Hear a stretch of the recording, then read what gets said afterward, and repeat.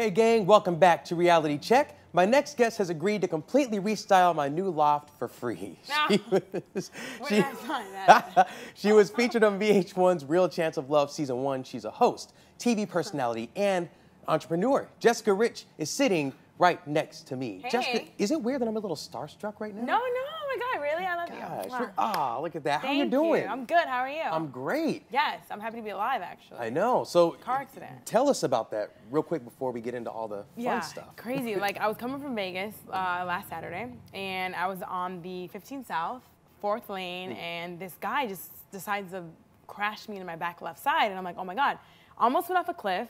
So I, to avoid doing that, I made like a whole turn, and I did a 360 from right to left, and literally when I stopped spinning, I was like facing all traffic.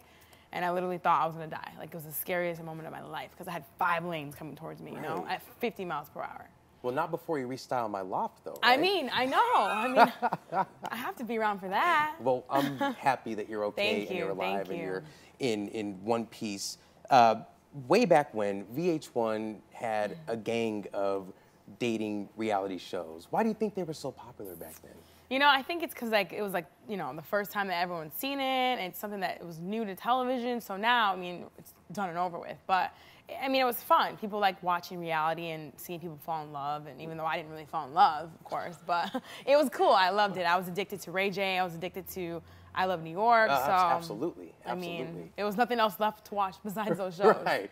You you are everywhere. You are doing really. a lot. Well, I'm I mean, trying, I'm well, trying. seriously, I mean, you host your own show. Mm-hmm. It's uh, Style It Rich. Tell us a mm-hmm. little bit about that. Style It Rich. Style It Rich is a brand that I created. I, of course, was going to school for hosting mm-hmm. because after reality TV, you know, you want to bring yourself as something. And I tried the whole acting thing, but acting's never been my passion. It's always been me being me. Mm-hmm. So hosting, why not? You know. So I'm, I'm in class with Marki Costello, not at the moment, but she's like, you know, you have to have a brand. So my thing has always been like fashion because people in high school used to think I was rich and I was never loaded or anything like that. But I always dressed nice according to like how I style myself. And I'm like, dude, it's like Kmart and freaking Payless. Like, I just know how to pull it together. Yeah. So with that, I created the Style It Rich. Shop it, shop inexpensive, look rich. My last name's Rich. It kind of rings, you know. Right. Uh, now we have about a minute left, so I want to go ahead and fit everything in. Yeah. Now you, this is these are some of your pieces from Yes. your line, Style It Rich, right? Yes. Uh, Uh, Jessica Rich collection. Jessica Rich collection. Yeah, Yeah. Jessica Rich collection. Um, costume jewelry. It's not super expensive. That piece will run you forty dollars.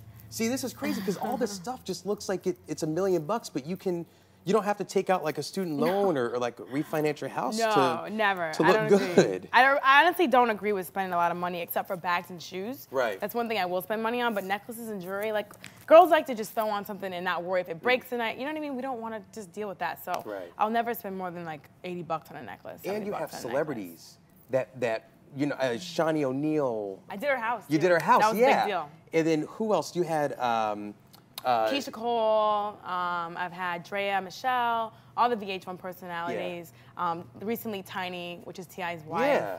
She wore my stuff too. So. That's exciting. Yeah. And everybody has to go check out your website. Yes. Give us your website real Yes, quick. yes. It's jessicarich.com, and my, all my stuff is there. My jewelry line's there, and if you guys want to hire me as a stylist, hire me there too.